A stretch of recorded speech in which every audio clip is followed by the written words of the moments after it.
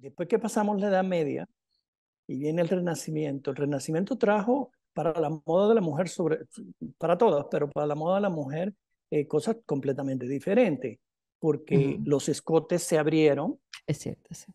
la, eh, realmente se podía enseñar lo que se podía enseñar.